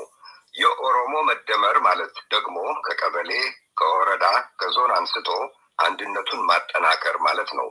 ሁለተኛ መደመር ስንል ደግሞ እንዴት እና በምን ሁኔታ መታየት አለበት፣ አንድነታችንና ልዩነታችን መለየት አለበት የሚል ሀሳብ ነው ሳራምድ የነበረው። እንዲህ አይነቱ አስተሳሰብ የእርስዎ ብቻ ነው ወይስ የሚደግፉት አሉ የሚል ነው። ሌላው የጃለኔ ጥያቄ kana kan deeggaran baay'eetu jira. አዎ ይህን የሚደግፉ ሌሎች ሰዎችም አሉ። የኢህአደግ ምክር ቤት የፓርቲውን ውህደት ለማጽደቅ ባካሄደው ስብሰባ ላይ ተገኝተው ነበር። የህወሀት አባሎች ድምፅ ሳይሰጡ ቀርተዋል። ስለዚያ ስብሰባ ጥቂት ቢነግሩኝ። deebi'uun hin danda'a. Tokkoon tokko deemsa kana keessatti maaltu እንግዲህ ይህን በሌላ ጊዜ ልመለስበት እችላለሁ። በነበረው አካሄድ በእያንዳንዱ ሂደት ምን ተከሰተ፣ ማን ምን አደረገ የሚለው ሌላ ጊዜ ብንነጋገር መልካም ይሆናል ብዬ አስባለሁ። ነገር ግን በአጠቃላይ ከመጀመሪያው አንስቶ እስከ መጨረሻው ድረስ የፓርቲዎቹን ውህደት በተመለከተ የተለየ ሀሳብ ነው ያለኝ። ከመጀመሪያው አንስቶ የማላምንበት መሆኑን ለስራ አስፈጻሚውም ሆነ ለሁሉም በሰፊው ገልጽ ነበር። የፓርቲዎቹ መዋሃድ ትክክል አይደለም፣ ትክክል ቢሆን እንኳ ጊዜው አይደለም ብዬ ስለማምን በዚሁ አቋሜ ራሴን አግልዬ ነው ያለሁት። አድማጭ ተመልካቾቻችን ተመልሰናል። ቀደም ሲል ዶክተር ለማ መገርሳ ወይም ኦቦ ለማ የብልጽግና ፓርቲ ውህደትን በተመለከተ ያላቸውን የሀሳብ ልዩነት ለቪኦኤ ኦሮምኛ ክፍል የሰጡትን ቃለ ምልልስ የቪኦኤ አማርኛው ክፍል ተርጉሞ ያቀረበውን በተወሰነ መልኩ አድምጠን ነበር የተመለስ ነው። ሪዮት እዚህ ቃለ ምልልሳቸው ላይ በዋነኛነት እንግዲህ ያነሷቸው ነጥቦች በዝርዝር ብዙ ቢሆኑ እዚህ ላይ ግን ዋና ዋናዎቹ ተነስተዋል ብዬ አስባለሁ። ይቅርታ፣ ለመዋሃድ ጊዜው ገና ነው። የኦሮሞ ህዝብ አደራ የሰጠው ለኦህዴድ እንደሆነ ነው እሳቸው የሚያምኑት፣ ለብልጽግና አይደለም። ይሄ ደግሞ አደራ በሊነት ነው። ስለዚህ በዚህ አልስማማም። መዋሃዱ ጠቃሚና አዎንታዊ ጎን ቢኖር እንኳን ጊዜው አይደለም አይነት የሚል ልዩነት እንዳላቸው ይህን ሀሳቦትን የሚጋሩ ሌሎች አሉ። ይሄ ነው የእርስዎ ብቻ ነው። እሱንም በአግባቡ መልሰዋል። የሚጋሩት እንዳሉ ከሞላ ጎደል እነዚህ ነጥቦች አንስተዋል። ከዚህ ልዩነት በመነሳት ቀጣዩ ነገር ምን ተፈጠረ የሚለውን በአጭሩ እናንሳና እንዳልሽው አሁንስ የተባለው እውነት ኦቦ ለማ መገርሳ ወይም ዶክተር ለማ መገርሳ በርካታ የዜና ማሰራጫዎች ዜናውን እያወጡትና እያስፋፉት እንዳለው በተባለው መልኩ ከተመለሱ ምን ሊጠበቅ ይችላል? ምን ምን ሊገመት ይችላል በቀጣይ በሀገሪቱ ሁኔታ ላይ የሚለውን ደግሞ በተወሰነ መልኩ እናያለን። ከዚህ ከመጨረሻው ግን እንነሳ። ካደመጥነው ንግግር የምትጨምሪው ተያያዥነት ወደዛም ሊያንደረድረን ይችላል ብዬ ነው። እሺ እንግዲህ እንደሰማነው እንዳልከው አንተም ለቪኦኤ በሰጡት ቃለ ምልልስ ላይ በግልጽ ያስቀመጡት እንደሚቃወሙ ነው የብልጽግናን መመስረት ልክ አይደለም። አንደኛ ነገር ትክክል አይደለም ነው። እንደው ትክክል ቢሆን እንኳን ጊዜው አይደለም። ራሳችንን ወደ ምንድነው ከኦህዴድ ወደ ኦዲፒ ስንለውጥ ወደ ኦሮሞ ብልጽግና ስንለውጥ አይነት ነገር ወደ ኦሮሞ ዲሞክራሲያዊ ፓርቲ ይቅርታ ስንለውጥ ህዝቡ አደራ የሰጠን እንደ ኦሮሞ ህዝብ ፓርቲ ነው እንጂ እንደ በኋላ እንደመጣው እንደ ጥቅሉ ፓርቲ አይደለም አይነት ነገር ነው እና እንደ ክልላዊ ፓርቲ ነው ነው። ስለዚህ እንደ ክህደትም ነው አይነት ነገር ነው ያሉት። ይህንን የሚደግፉ ሌሎች ሰዎች አሉ ወይ ተብለው ሲጠየቁም አሉ ብለው ነው ያሉት። በኋላ ላይ እንግዲህ የነ ወይዘሮ ጠይባ ሀሰንንም አብሮ መታገድ ስናይ ያው ያሏቸው ሰዎች እነሱ ሊሆኑ ይችላሉ የሚል ግምት ያድርብናል። በኋላም ደግሞ አብረው ነው የወጡትም ወደ ውጭ ሲወጡ ለማ መገርሳ፣ ወይዘሮ ጠይባ ሀሰንም አሁን አብረው ተመልሰዋል የሚል ነገር እንደዚሁ እየተሰማ ነው። እንግዲህ ምን ያህል ልክ ነው አይደለም የሚለውን ነገር ባናቅም፣ ስለዚህ ይህንን ሀሳብ የተቃወሙ ሰዎች ነበሩ። በዛ አይነት ሁኔታ እንግዲህ እንደጠቀስከው ትልቁ ስም እንኳን ማናቸው ስንት ናቸው የሚለው ጥያቄ ባይመለስም team ለማ የሚለው ግን ስሙ እንኳን የተሰየመባቸው ያ ቡድን የተባለው ነገር የዚህ movement ትልቁ ሰው እንደሆኑ ግን ምንም ጥያቄ የለውም። አንተም ያስታወስከን ነገር አለ። መሪ ከኋላ ሆኖ መሪ ዛሬ በአደባባይ ላመስግነው አይነት ያሉበት ዶክተር አብይ እና ስለዚህ በዚህ ሂደት ውስጥ አሁን በመጣው አንጻራዊ ለውጥ ትልቅ ድርሻ ከነበራቸው ሰዎች አንዱ እንደሆኑ ግን ምንም ጥያቄ የለውም እና በኋላ ላይ ምን ተፈጠረ? አሁን የተባለው ነገር ብቻ ይሄ ብልጽግና መፈጠር ወደ አንድ ፓርቲ የሚለው ነገር ብቻ ነው ወይስ ደግሞ ሌሎች ጉዳዮችም አሉ? ሌሎች በተለያዩ ሰዎች የሚነሱት የአመለካከት ልዩነት በዶክተር አብይ እና ለማ መገርሳ መሀል ኖሮ ነው ወይ የሚለው ራሱን የቻለ ጥያቄ ነው ማለት ነው እና አሁን ላይ ደግሞ እንግዲህ ተመለሱ ሲባል እንዳልነው ብዙ ሚዲያዎች ቅርብ የሚሆኑ ጭምር ለመንግስት እያወሩት ስለሆነ ነው እንግዲህ ቢመለሱ ምን እንዳምታለው የሚለውን ነገር እየተወያየንበት ያለ ነው። እንደገናም ደግሞ የዚህ የብሔራዊ ምክክሩ አካል መሆን አለባቸው የሚሉ እንቅስቃሴዎች ነበሩ social media ላይ ዛሬ መጡ የሚለው ነገር ከመሰማቱም አስቀድሞ ማለት ነው እና እነዚህ አይነት ጥያቄዎቻቸው ይሄ በእርግጥ ውህድ ለማለት ይቸግራል። ብልጽግናን የአማራ ብልጽግና፣ የኦሮሞ ብልጽግና ምናምን እየተባለ አሁንም ያለበት ነገር ስታየው የሚቸግር ነገር ነው። ነገር ግን ለማ መገርሳ አይ ይሄ ነገር መሆን የለበትም ብለው የወጡበት ነገር ይሄ እንደሆነ ደግሞ ነግረውናል። ቪኦኤ ላይ በግልጽ ያስቀመጡት እና በስም ነው እንጂ በትክክልም እንደ አንድ ፓርቲ ሆኖ እየተንቀሳቀሰ ነው ወይ ብልጽግና የሚለው አንድ ራሱን የቻለ ጥያቄ ሆኖ አይ ይሄ ነገር ያው ከስም ያለፈ እኮ አልሆነም በሚል ነው የተመለሱት ወይስ ይዋጣል የኦሮሞ ፓርቲው እዛ ውስጥ ያለው ከኢህአዴግ ውስጥ የኦህዴዱ ክፍል የሚለው አይነት ስጋት በአንዳንድ የኦሮሞ ብሔርተኞች የነበረውን እሱን ስጋት እንዳልሆነ ሲያዩ ነው ወይ ወይስ ሌላ ምን አይነት መንገድ አለ? ማናቸው ወደ ማናቸው ሀሳብ መጥተው ነው ወይስ አማካዩን ፈልገው ነው? ወይ ራሱን የቻሉ ብዙ ጥያቄዎችን የሚፈጥር ነው። ነገ ደግሞ በትክክልም እንደተባለው መጥተው ከሆነና የሚይዙት ፖዚሽን ካለ በብሔራዊ ምክክር ውስጥም የምናያቸው ቦታ ካለ የመጡበትን ምክንያት ደግሞ የበለጠ ጥያቄዎች ከማድረግ እና ብዙ ግምቶች ከማስቀመጥ ይልቅ እያወቅናቸው የምንሄዳቸው ይሆናሉ። ለአሁን ግን ብዙ ጥያቄዎችን የሚፈጥር ነገር ነው። መጨረሻ አካባቢ ላይ በተለይ ያው እሳቸው እየተገፉ እየተገፉ እንደመጡ ተደርጎ የሚባሉ ነገሮች ነበሩ። አሁንም የተለያዩ አድማጮች ከሚሰጡት አስተያየት ውስጥ አንዱም ይሄ ነው። አብዲ ራዋ የተባሉ ለምሳሌ ሪዮትና ተቦር እና የለማ አይነት ሰከን ያለ ሰው ለሀገራችን ያስፈልጋል። ትልቁ ጥያቄ ከፓርቲው የተገፋበት ሴራ በግልጽ አይታወቅም፣ ግን የተደበቀ ሴራ ነበር ብለዋል። ሴራ ነው ወይስ ደግሞ በግልጽ እሳቸውም እንዳስቀመጡት ይሄ ነገር ልዩነት ፈጥሮ ፈጥሮ በኋላ ላይ ደግሞ ከተለያዩ ሚዲያዎችም እንደዚሁ እንደሰማነው ከተለያዩ ምንጮችም ሁለቴ ሶስቴ በዶክተር አብይ በኩል ተጠይቀው ጉባኤ ላይ እንዲገኙ ሳይገኙ ቀርተው ነው የታገዱት የሚለውም ነገር አለ። ስለዚህ የትኛው ነው የሚለውን ነገር እንግዲህ አንድ ቦታ ላይ መርገጥ ቢከብድም የተለያዩ ነገሮችን ግን ማስቀመጥ ይቻላል። ምን ብለው ነበረ የሚለውን ከቪኦኤ ጋር እንደዚሁ እሳቸው ይሄ የመከፋት ነገር ግን ጥልቅ የሆነ የመከፋት ስሜት የሚታይበት ገለጻ ነበር ያደረጉት እና እሱን እንደዚቹ አንድ ደቂቃ ያህል የምትሆን ስለሆነ ሰምተን ብንመለስ ጥሩ ነው። ወደ ህዝባችን እንመለስ፣ ህዝባችንን እናዳምጥ ተባብለናል። ከአሁን ወዲያ ህዝባችን የማይፈልገውን አናደርግም ብለን እፊቱ ምለናል። ህዝቡም አመነን። አሁን ብድግ ብለን አዲስ ነገር ይዘን ስንመጣ ህዝቡ ሊያውቅ ይገባል።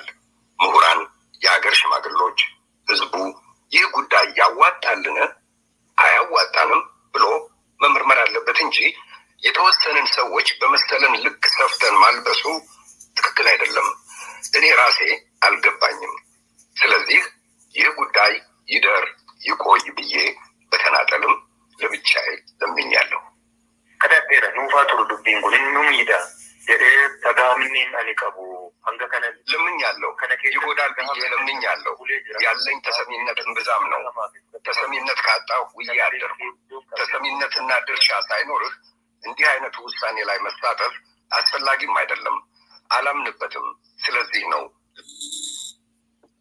አድማጭ ተመልካቾቻችን ተመልሰናል። እየተከታተላችሁ ያላችሁት ከብንጊዜ ሚዲያ የዕለቱ ጉዳይ የተሰኘውን ዝግጅታችንን ነው።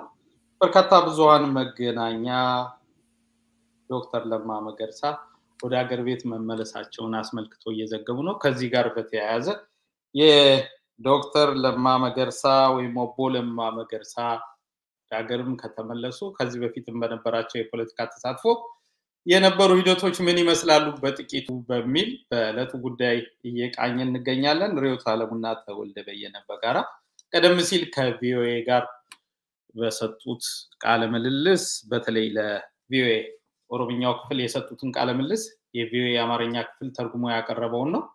ከብልጽግና ውህደት ጋር በተያያዘ የነበራቸውን አቋም ከዛም በኋላ የደረሰባቸውን መገለል ወይም መገፋት በተመለከተ የሰጡትን ቃለ ምልልስ በጥቂቱ ነው ቃኝተን የተመለስ ነው።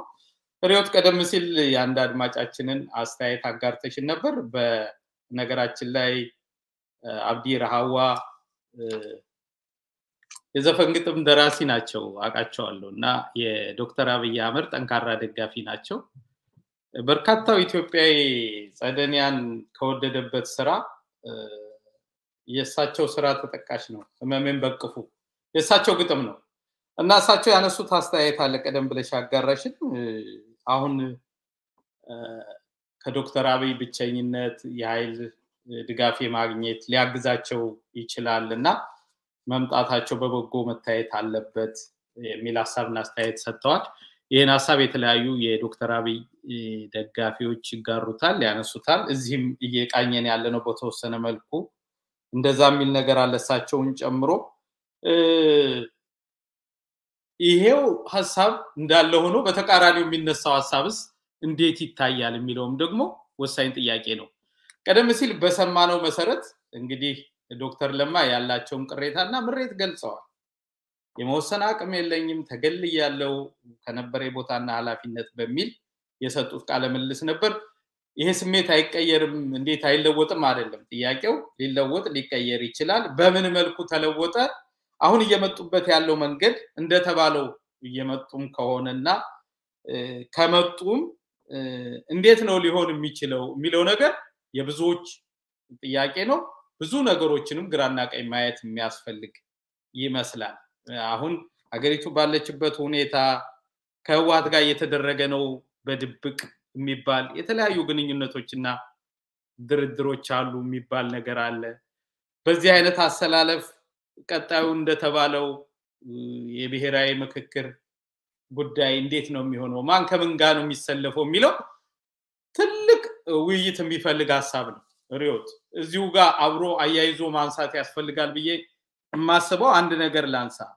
ምናልባት አስተያየታቸውን ያጋሩንን ተመልካቻችንን ጨምሮ በርካቶች መተጋገዙ፣ መረዳዳቱ ዶክተር አብይ አሁን ባላባቸው ጫናና የተለያዩ ክፍተቶች ሊያግዟቸው ይችላሉ። ጥሩ ነው። ይሄ በደጋፊዎቻቸው እየታሰበ ያለ አስተሳሰብ ነው። ጎን ለጎንስ ስጋቶቹን እንዴት ነው የምንቃኛቸው? እንደተባለው ይሄ የምክክሩ ሀሳብ እንዴት ነው ሊሆን የሚችለው? እውነቱ ውጤታማ ይሆናሉ? ሌላ ጊዜ በሰፊ እንመጣበታለን።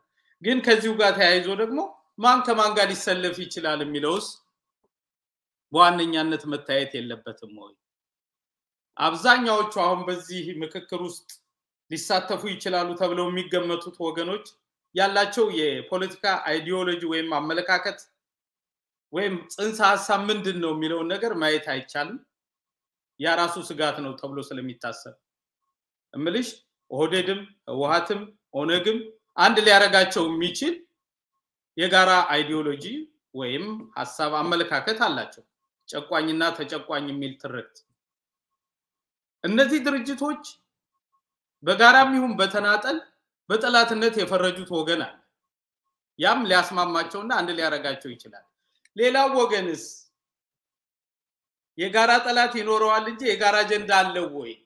እምልሽ ዶክተር አብይንም በመውደድ ሀገርንም ከአደጋ ተርፋለሁ በሚል በተለያየ መልኩ በእሳቸው አካባቢና ዙሪያ የተሰባሰበው ኢትዮጵያን የሚወደውም ኃይል ለኢትዮጵያ እታገላለሁም የሚለው ሌላውም ቢሆን በምን መልኩ ነው አንድ ላይ ሊቆምና ሊሰለፍ የሚችለው?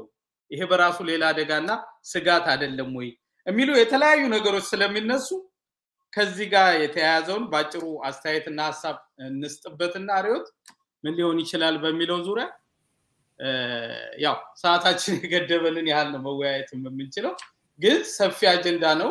በየጊዜው እያንዳንዶቹ ነጥቦች በጥልቀት መተንተን አለባቸው። የሀገሪቱ ሰላም፣ እኩልነት፣ ፍትህ፣ ሌሎችም ነገሮች ቅንጦት ነው የሚሆኑት። አሁን የህልውና አደጋ ነው ያለው። ስለዚህ ይህን የህልውና አደጋ ለመሻገር ደግሞ እንዴት ነው እየታሰበ ያለው? ብሔራዊ ምክክር፣ ብሔራዊ ሽግግር፣ ሌላም ስያሜ የሰጠው እሱ ችግር የለውም። ግን ማን ከማን ጋር ተሰልፎ ይሄን የማሻገር ስራ ሊሰራ ይችላል የሚለው ትልቅ ጥያቄና ብዙ ጉዳዮችን በጥልቀት መመርመር የሚያስፈልግ ይመስለኛል። ያንችን ሀሳብና አስተያየት ሬት። እሺ እንግዲህ ምንድን ነው የሚያመጣው ይሄ በአንድ ወቅት አሁን ለመጣው አንጻራዊ ለውጥ ትልቁ ሰው ተደርገው የሚወሰዱት ደግሞም ይሄንን ደግሞ ዶክተር አብይን ማረጋገጫ የሰጡበት ሰው ቆይተው ከፖለቲካው መድረክ ቢያንስ በሚታይ ሁኔታ ተገልለው ቆይተው አሁን ላይ ሲመጡ ምንድን ነው የሚያመጣው የሚለው ነገር ያው መነጋገሪያ መሆን ያለበት ነገር ነው። እንግዲህ መምጣታቸው እርግጥ ከሆነ ማለት ነው። እሱን ደግሞ ነገ ከነገ ስናቅ የበለጠ እየተወያየንበት የምንሄድ ይሆናል። ሆነም ቀረ ግን አሁን ያልከው ወሳኝ ነጥብ ነው። በዚህ በምክክሩ ሂደት ውስጥ ሁሉም በተቻለ መጠን የፖለቲካ አስተሳሰቦች ቢያንስ ኢትዮጵያን ጥያቄ ምልክት ውስጥ የማይከቱ ማለት ነው። በቀደም በእርግጥ ዶክተር አብይ ባደረጉት ንግግር ከዲያስፖራው ጋር የሰጡት ጥቆማ ነበረ። ተገንጣይ ነን የሚሉ ቡድኖችን ቢሆን ሊካተቱ የሚችል እንደሆነ የሚያሳይ ጥቆማ አብዛኛው ሰው መገንጠል እንደማይደግፍ አውቃለሁ። ግን አስር አስራ አምስት ሰው እንደዛ ቢል እናሳምነዋለን እንጂ መጥቶ ከእንትኑ ይገፋ አይባልም አይነት ነገር የሚመስል ተናግረዋል። ስለዚህ እንደዚህ አይነት ሰዎችና አካላት ሊሳተፉ ይችሉ ይሆናል የሚል ጥቆምታ ይሰጥሃል ያንን ስታይ። ነገር ግን እንግዲህ በተቻለ መጠን መሆን ያለበት የተለያዩ አመለካከት ያላቸው እንደገናም ደግሞ ከዘውግም ስብጥር በለው ከሃይማኖትም በለው ከፖለቲካ አመለካከትም በለው አንጻር አሁን ያለው እንግዲህ ያ ስለሆነ ማለት ነው ያለው የዘውግ አደረጃጀት ስለሆነ ያ ባይሆን እንደዚህ ለማውራት አንገደድም። መሆንም አልነበረበትም ነበረ። የሀገር ጉዳይ የዜግነት ጉዳይ ነበር መሆን ያለበት እንጂ በዘውግ መነጽር የሚታይ መሆን አልነበረበትም። ግን አለመታደል ሆኖ ኢትዮጵያ ሁኔታ ይሄ ሆነና ከዚህ ቀደም ሰማንያ ሶስት ላይ እንደነበረው የሚገለሉ የኢትዮጵያ ልጆች እንዳይኖሩ የሚገለሉ ወገኖች እንዳይኖሩ ምንድን ነው መሆን ያለበት የሚለውን እንግዲህ ይሄ የሁሉም የቤት ስራ ነው መሆን ያለበት። አሁን የለማ መገርሳን መምጣት ከዚሁ ጋር ተያይዞ ነው ብዙ አስተያየቶች እየተሰጡበት ያለው። ይጠቅማል ወይስ ይጎዳል? ለማን ነው ኃይል የሚሆኑት የሚለው ነገር ነው እንግዲህ በወሳኝነት እየተነሳ ያለው ነገር እና እሱም ነው የሚያሳስበው ጉዳይ። ዝም ብለው ነው የቆዩት። ዝም ብለው ሲባል እንግዲህ በውስጥ ምን ይሰሩ ነበር፣ ምን ያደርጉ ነበር? የምናውቀው ነገር የለም። ግን በአደባባይ ላይ ወጥተው ከዚህ ከ VOA ው interview በኋላ መከፋታቸውን ከገለጹበት ተሰሚነቴ ቀንሷል፣ ምንም ማድረግ አልቻልኩም፣ ማላምንበት ውሳኔ ነው፣ መሆን የሌለበት ነገር ነው፣ ጊዜውን የጠበቀ አይደለም፣ እንደው ትክክል እንኳን ቢሆን ግን ትክክልም አይደለም ካሉት በኋላ ዝም ብለው ስለሆነ የቆዩት በአደባባይ ምን እያሰቡ ነው የሚለውን ነገር ለማወቅ የሚከብድ ነገር ነው። ግን የሚሰጡ የተለያዩ አስተያየቶች ነበሩ። የትኛው አስተያየት ነው ስለሳቸው ትክክል የነበረው የሚለውን እንግዲህ የእሳቸው ቀጣይ ጉዞ የሚያሳየን ይሆናል። ወይስ ደግሞ የግል ህይወታቸውን ዝም ብለው ለመኖር ነው ወይ የመጡት የሚለው እሱም ራሱን የቻለ ጥያቄ ነው። ግን አይመስልም እንደዚህ አይነት ቦታ ላይ የነበረ ሰው አሁን ደግሞ ሲመጣ አይመስልም እና ለዛም ነው እንግዲህ መወያያ የሆነው ነገርየው በደንብ መታሰብ ያለበት ነው። ወቅቱን ከወቅቱ አንጻር በተጠይቀኝ እኔም አሁን ይሄ ብሔራዊ ምክክር እንዲህ የተባለው ገና ጦርነቱ እንኳን በደንብ ባልተቋጨበት ሁኔታ የተለያየ የኢትዮጵያ ክፍሎች ላይ ህወሓት አሁንም ጥቃት እየሰነዘረ ባለበት ሁኔታ እነዛ ሰዎች አይደለም ለብሔራዊ ምክክር ወጥቶ መግባት ለብዙ ኢትዮጵያን ወገኖች ስጋት በሆነበት ሁኔታ ለእኔ የፕራዮሪቲ ጉዳይ አይደለም። እንደውም ሌላ ችግር እንዳይቀሰቅስም ያሰጋኛል። ግን የሚሆን ከሆነ እኛ እጅ አይደለም እና ነገሩ የሚሆን ከሆነ ግን ሁሉም አካል ተዘጋጅቷል ወይ? በተቻለ መጠን ኢትዮጵያ እንድታሸንፍ በሆነ መልኩ ነገሩ እንዲጠናቀቅ ኢትዮጵያ እንድታሸንፍ በሚል ስል እንግዲህ የተለያዩ ልጆቿን በተቻለ መጠን በአቻቻለ ፍላጎቶች በአቻቻለ መጠን ኢትዮጵያን ጥያቄ ምልክት ውስጥ ባልከተተ መጠን ይሄ ደግሞ የዘውግ የሆነው አደረጃጀት የበለጠ እንዲለጠጥ የማያደርግ በሆነ መልኩ ሊቋጭ ይችላል ወይ? ለዛስ ደግሞ እንደዚህ አይነት አመለካከት ያላቸው ሰዎች ምን ያህል ናቸው የሚሳተፉበት የሚለው ነው። እንግዲህ ዶክተር ለማ መገርሳ ለዚህ ጥሩ ግብአት ይሆናሉ ወይስ በተቃራኒ ነው የሚሆኑት? እንቅስቃሴያቸው ነው የሚወስነው። እዚህ ላይ የተለያየ አስተያየቶች እየተሰጡ ነው። ጥሩ ጥሩ አስተያየቶች ናቸው። አንደኛው ለምሳሌ ሰማያት ዋይ የተባሉ አድማጫችን የሰጡት አስተያየት አለ። ከዚህ ቀደምም ልዩነታቸው የወያኔን ስጋት ከመቀነስ አንጻር የነበረ tactical ልዩነት እንጂ መሰረታዊ ስትራቴጂ አልነበረም። አሁን የህወሓት አቅም ስለሞተ በጋራ መቆም ይችላሉ አይነት ነገር ብለዋል። በእርግጥ ይሄ ከህወሓት አንጻር ብቻ ሳይሆን የራሴን base የሚሉትን ነው የጠቀሱት ዶክተር ለማ። እንደውም ስለ ህወሓት ሲጠየቁ እዛ ላይ አስተያየት መስጠት አልፈለጉም የ VOA interview ያቸው ላይ። ስለዚህ ከተለያየ ነገር አንጻር አይተውት ይሄንን የበለጠ ችግር የሚያመጣ ነው የሚል እንደዚህ አይነት ልዩነት ነው እንጂ መሰረታዊ ልዩነት አይደለም አይነት ነገር ነው የአድማጫችን አስተያየት። የምትጥለው አይነት አይደለም። ስለዚህ አሁን ላይ ያ ስጋት ስለሌለ በጋራ መቆም ይችላሉ አይነት ነገር ነው። በእርግጥ እንዳልኩት ህወሓትን ሳይሆን የራሳቸው base የሆነውን የኦሮሞ ህዝብ እያሉ ነው የገለጹት። base አቸው ነው አይደለም። በኦሮሞ community ውስጥስ እንዴት ነው የሚታዩት ዶክተር ለማም የሚለው ነገርም የተለያየ አመለካከት ነው ያለው። አንዳንዱ አይ ከዚህ ቀደምም በህወሓት ሲያስመቱን የነበሩ ሰው ናቸው። አሁን ደግሞ የስልጣኑን ያስረከቡት አካል የኦሮሞን interest የሚያስጠብቅ አይደለም ብሎ የሚያያቸው አሉ። አይ አይደለም፣ አስፈላጊ ሰው ናቸው፣ እንደውም ሴራ ተሰራባቸው እንጂ ስለዚህ የእሳቸው መምጣት ጥሩ ነው ብሎ የሚያይ አለ አንድ አድርጎ ሁሉንም አይነት ኢትዮጵያውያን እንዲያስባሉ የኦሮሞ ህብረተሰብ እንዲያስባል፣ የአማራ ህብረተሰብ እንዲያስባል፣ የትግራይ ህብረተሰብ የሚባል በሚባል ደረጃ ነገሩን ማስቀመጥ አልፈልግም። እንደዚህም የሚያዩ የተለያዩ ሁኔታዎች አሉ። ለማንኛውም ግን የሚበጀው ነገር ከዚህ ቀደምም የአንጻራዊ ለውጡ መጣ ሲባል እንዳልኩት አሁንም ደግሜ ልል የምፈልገው የራስን ኃይል ብዙ ተበታትኗል። በተለይ የኢትዮጵያ ኢትዮጵያ የሚለው በየጊዜው በሚመጡ አጀንዳዎችም እየተበተነ እየተበተነ ነው የሚሄደው። ትንንሽ ልጆቻችንን እየጠገንን እንዴት ወደፊት እንሂድ ሳይሆን የሚመጣው ነገር በሙሉ የበለጠ የሚሰነጣጥቀው እየሆነ ነው ያለመታደል ሆኖ የሚሄደው።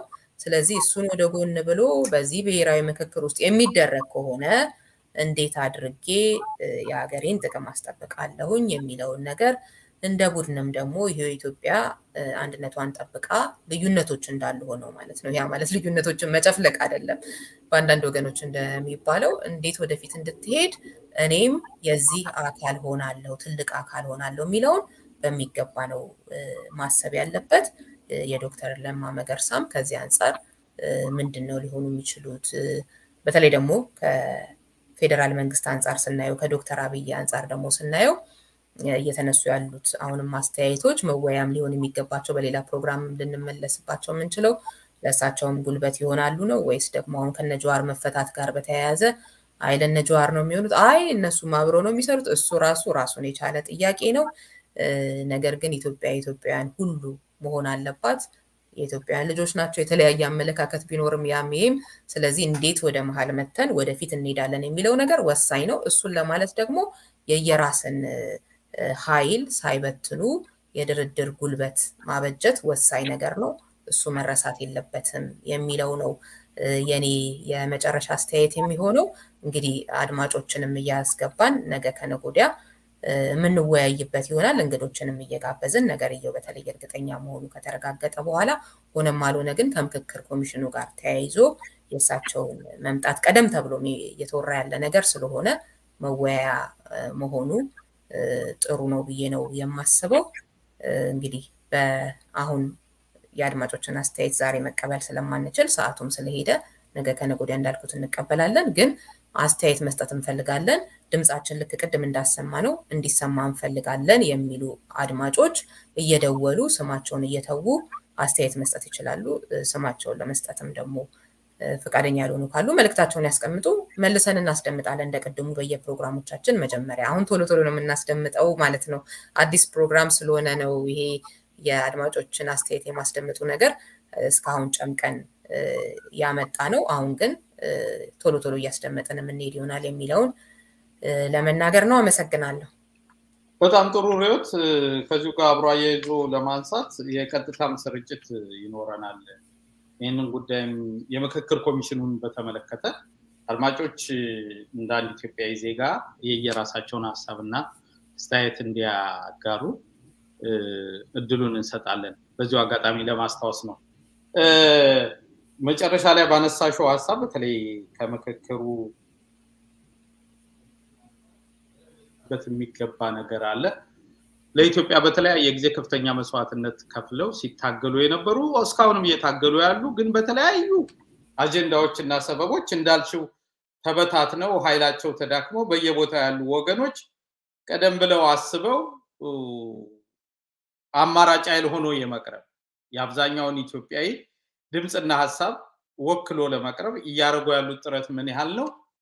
እሱ ራሱ በጣም አሳሳቢ ነው የሚሆነው። ምክንያቱም ካለፈ በኋላ በመፈክር ብዛት፣ በውግዘት ብዛት፣ በለቅሶ ብዛት የሚቀየር እና የሚለወጥ ነገር የለም።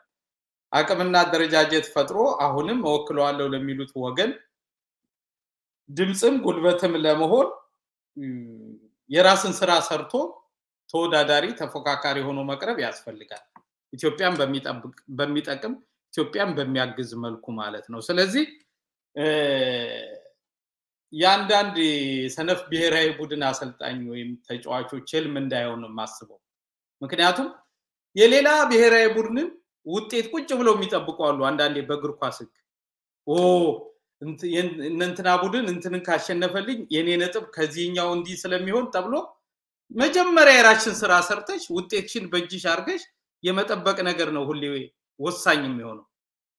ሌላኛው በተስፋ ላይ ስለሚሆን አዋጭ ይሆናል ብዬ አላስብም በግሌ። ስለዚህ ለሚጠቅመው ነገር አቅምና አደረጃጀት ፈጥሮ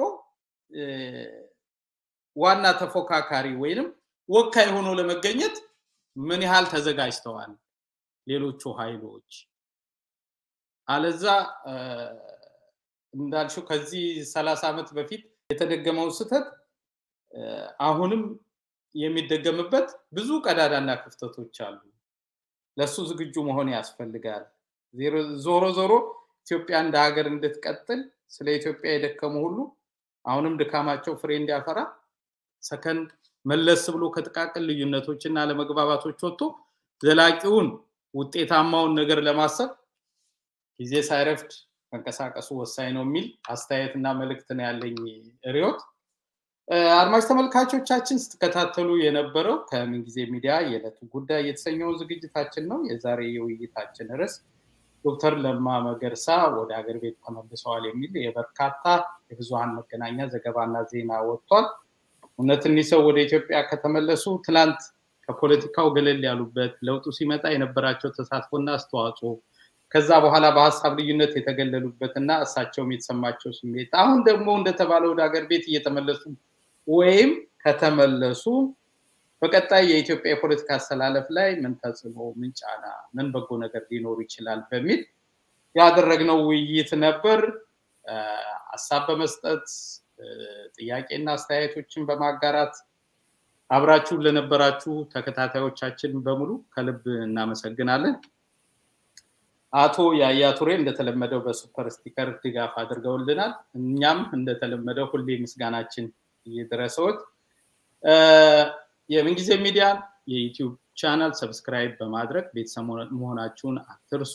ሀሳባችንን share ና like እያደረጋችሁ ለሌሎች አጋሩ። የምንጊዜም መልእክታችን ነው።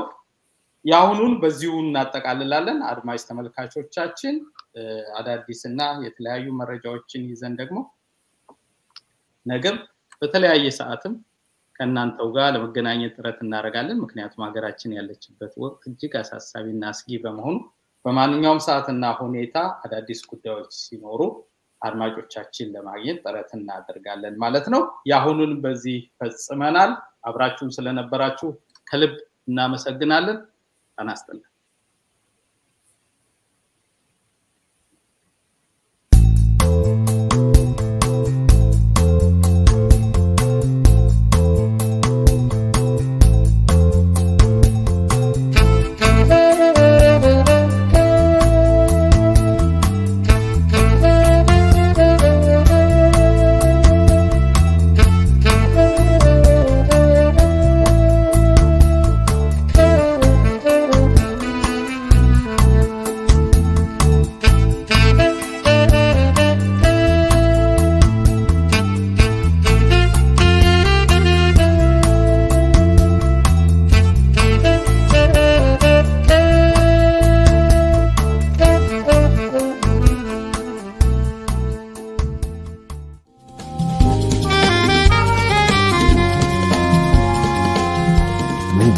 ሚዲያ ሀገራዊ መረጃዎች በየዕለቱ በዜና ወጃችን ለአድማጮች ይደርሳሉ። ሰኞ፣ ረቡዕና አርብ የዕለቱ ጉዳዮች በተሰኘው መሰናዷችን ዋና ዋና አገራዊ አሁናዊ ክስተቶች ይተነተኑበታል። ከመጽሐፍት ገበታ በዕለተ ማክሰኞ በተመረጡ መጽሐፍት ሐሳቦች ላይ ከደራሲያን ጋር ውይይት የሚደረግበት ዝግጅታችን ነው። ክፍተቶችን እየጠቆመና እየገለጸ ራሳችን እንድንመለከት አትኩሮቱን ያደረገ መስታወት የተሰኘ መሰናዷችን ዘወትር ሐሙስ ይቀርባል። የተወልደ እንግዳ ቅዳሜ የሚቀርብ ሲሆን በዋናነትም የጥበብ ሰዎችና ሥራዎቻቸው ላይ አተኩሮ ያልተነገሩ አዝናኝና አስተማሪ ታሪኮችን ይተርካል። እሁድ እንዲህ ነበር የተሰኘ መሰናዷችን ታሪክን በምልሰት እየቃኘ ለአድማጭ ተመልካቾቻችን የሚደርስ ይሆናል። ምንጊዜም ሚዲያ